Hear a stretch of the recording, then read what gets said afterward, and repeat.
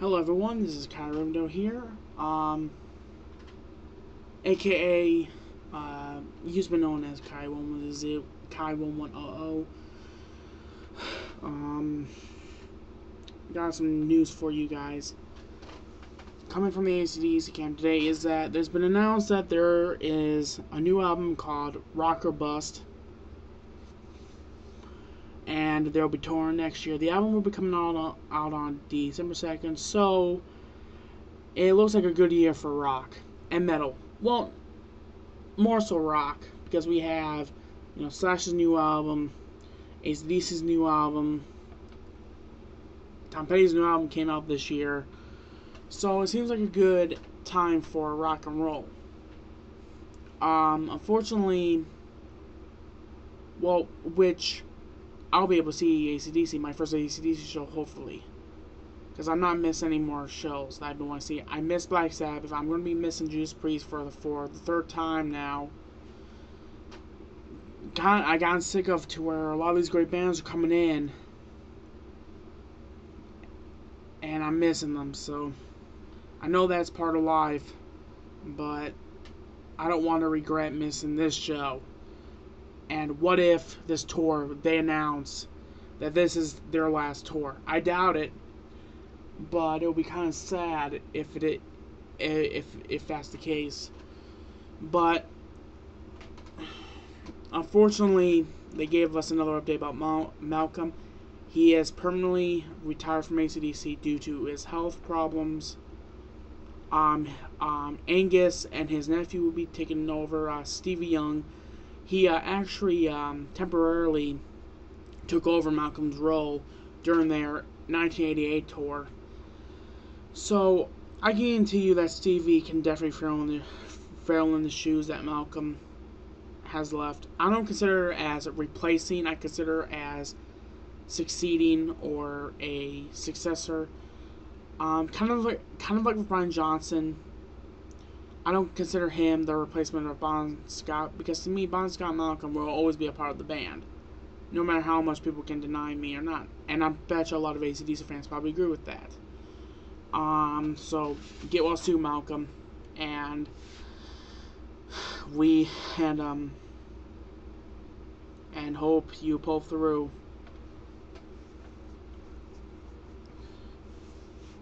With uh whatever you're going through right now. So, um, I've seen some people say that Malcolm's not a big part of ACDC. He is a big part of the Drive Force. He is he he wrote a lot of songs. Him and and Angus are the two people that start that starts working on the next album. So, unfortunately, Angus has some shoes Angus, I'm sure that Angus can write some killer songs. ACDC has been known to put out some good albums, so can't wait. Even though, even, even though, even though they gave us two great pieces of update and all that, and then they give us, and then they dropped us with Malcolm. You know, I'm not happy about it. I mean, you don't like it when a member leaves a band. You know, kind of like with Slipknot with Joey Jordison, which who I can only speculate it's either drugs or Joey has been kind of a butt to them. I don't really know what's going on on the Slipknot camp. Hopefully, they will announce why Joey left. Well, why why Joey was let go. I hope they do. Sorry. I tell you, I do these videos late. Around 1 a.m. Just so that my head's not filled up with all these thoughts. Um, another big info I want to talk about is something that I kind of touched in a previous video, but I haven't really discussed it here. Um, the Star Wars fan base, if you will, which I'm a part of. I'm, kind of like how Godzilla fans and horror fans say they they was born one and they die as one. I was I was born a Star Wars fan and I'll die a Star Wars fan. I'll get my kids into Star Wars. But the the Star Wars fan base is probably is probably as passionate as passionate as the Godzilla fan bases and horror fan bases. But unfortunately, the Star Wars fan base has those certain fans that bitch about the prequels a little bit too much, or if it's about Jar Jar Binks, or if it's about Hayden Christensen performance as Anakin Skywalker, or whatever, or the whole Han shoot Han shoots first bullshit. A lost, you know, one of my Facebook buddies um, actually commented on my posts about Star Wars, and he puts his own thoughts. I do agree with what he's saying and all that, but in my point of view, it's like, I mean, I do think that it wasn't right for for George Lucas to do what he did to the original three, but it's his movies. He has that right.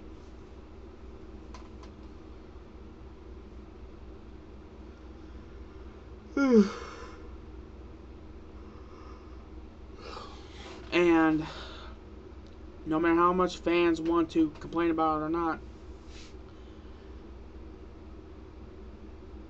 those those special editions are here to say if you want the originals, track down the freaking V the VHS. I'm not missing nothing. I don't care about the original movies. I don't care worry about the whole Han shoot thing. Is I, I'm not bothered. The only edit there's only two edits I'm bothered by. It's in the Blu-ray edition during episode six, where it's it's during when Darth Vader's trying to choose between helping his son or killing Luke, if you will, trying to figure out what he's going to do. He says no from episode three, which is a big meme thing, and I really hate that because that scene to me is supposed to be one of the most powerful scenes in Star Wars. That's when Anakin is trying to fight himself and trying to say, you know, like, this is my son, I can't let him do this to my son. But at the same time, this other part I'm saying, but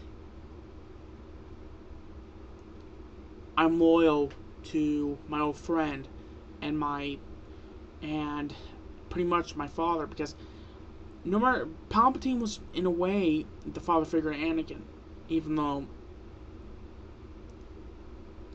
we all see we all saw what happened. And the thing is though shit huh. I'm sorry guys. I don't mean I don't mean to yawn. I hope this doesn't annoy you at all. But the and that's the scene I really do not like. Because I, I'm normally fine with uh, most of Wars edits. I'm even fine with the whole Anakin voice, the Anakin Ghost controversy edit, to where they replace Sean, um, uh, uh, Sebastian Shaw with Hayden. I'm not, you know, I don't mind that because technically, by the whole rules that George Lucas made, you when somebody becomes Sith, their old self dies. So it kind of makes sense that they would revert back to that they were before turning into Sith. If I'm correct. I'm not bothered by that thing, but the, the other thing I don't like is the whole Ewok eye blink thing. That was unneeded. That was no, right. The one that I did like was the episode one Yoda turning from the puppet to CGI. I thought that puppet was disgusting. I hated that puppet. He looked older, and with that puppet, than he did with the episode five or six puppet that they had. That puppet was disgusting looking. I hated it. I hate that style of Yoda so much. To me, that would be probably considered as the uh, the one Godzilla suit from um that they later on used that a lot of people did not like. I forgot that suit name. I'm tired right now, so a lot of my memory's fuzzy. But like I said, you know, there's all there's these there's these Star Wars fans that complain about everything. I keep thinking, like, okay, I understand your opinion, but don't keep dragging the the dead horse a lot. What I'm saying is though, do not complain about the more minor things about Star Wars. You could be lucky, and George Lucas, before Disney got the rights to it, could could could have said straight out that fuck you all. I'm not going to. I'm not going to allow Star Wars to be sold anymore. I'm going to revoke my rights from Hasbro. Can't have nothing if you guys can't appreciate it. And the thing is, though, that's also why he wasn't going to make episode 789. He knew that he had haters. And he's like, well, since, well, well, since people are just going to constantly complain, I'm not going to do it. That's basically what he said. So, pretty much, the fans of Star Wars, I think, like I said, are the most passionate, but also the most critical. If there are critics that really are critical on the prequels, it's our it's the haters. And in my personal opinion, you know, I liked four, five, and six and all, but I consider them all as one whole movie. Like I said, they say episode one, two, three, because they're episodes. They are two hour to an hour and a half long episodes. And pretty much, um, pretty much the whole Star Wars thing is about Anakin. No matter how much you guys want to say, oh, Luke was the main character in 4, 5, and 6. This the story was revolved around Anakin trying to redeem himself, trying to find himself, and trying to fight his inner darkness. Kingdom Hearts influence, maybe? Hmm. I mean, maybe Kingdom Hearts had some influence from Star Wars. Because Riku, it's kind of funny when you think about it. Um, that's all I'm gonna say about Star Wars. I I could talk about that for a whole whole hour long thing. Another thing I want to talk about is the Call of Duty fan base and the state is right now. I play Black Ops 2. I play Call of Duty Ghosts, and I also play Battlefield 4 and Halo as well. Well, I wish I could play Halo still, but um the Call of Duty fan base is one of the me the most controversial fan bases in the gaming world. It's very not respected because of because of how the players are. They whine too much. They can't accept they lost a match. They can't accept that they died in a game, and they think everyone's camping and they think everyone is hacking. That's to me. That's why I hate. That's why I always meet people because I don't want to deal with those type of fans. I play to have fun. And I don't know when gaming ended up not being fun anymore. I think it started when online gaming got real big with, you know, the original Xbox that came around and all that. And they had Halo on there and Halo 2. And then finally they thought, hmm, to where Activision or whoever owned or the rights at the time for Call of Duty said, hmm, maybe we should make our own because this seems to be the future that, that video games are going. Should be told, Look what happened. You can't go on a freaking gaming website without seeing some Call of Duty fanboy on there. I prefer Battlefield 4. I actually prefer the Battlefield series. It's more funner. It's not as annoying. And every outcome is different, which I like because with every outcome, you don't know what's going to happen. You, you don't know how you're going to die. You're gonna, you're you're not going to know if a building's going to get crumbled down. And you and you can drive vehicles and the maps are huge and you know just awesome looking.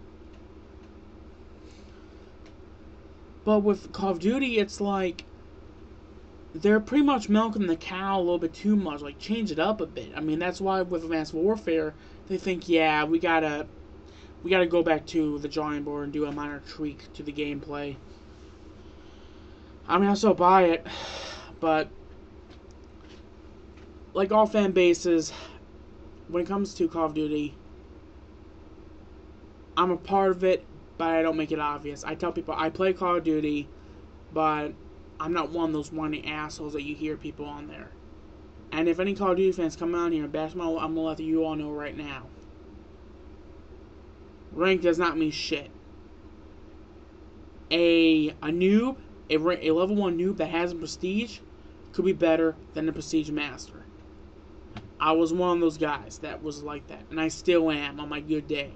I'm not trying to be arrogant, it's fact. I don't play that game as much. I'm not a prestige master because I don't care. I'm taking my time with that game. I'm not trying to get addicted because I get burned out a little bit too easily with that game. I'm I'm pacing myself.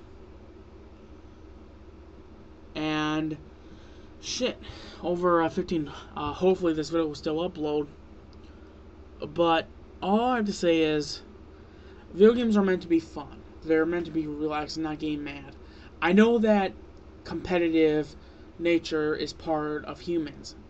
But don't let it control your actions to where you get pissed off and you keep going back in. And it's late at night and you're tired. Do not do that because you're gonna you're, you're gonna get even more pissed off if you die because you're because your mind is constantly to where you're tired and you're also frustrated. It's a bad combo. So, but anyways, um, this is kind of this is kind of Rainbow here. Um, I know that with Star Wars and Call of Duty, I haven't touched any much of it. I know that this, these are mostly uh, vlogs and all that, and I'm sorry. Um, I'll try to think of something to do. I think I'm gonna be doing my CD collection for sure for you all, and probably do a. I'll do a guitar cover. I'll do a song I've been working on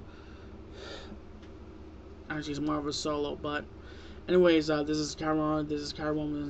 This is Kyrimdo here. Um, rock on, and I'll be ordering my complete collection for Halloween this today, hopefully, most likely.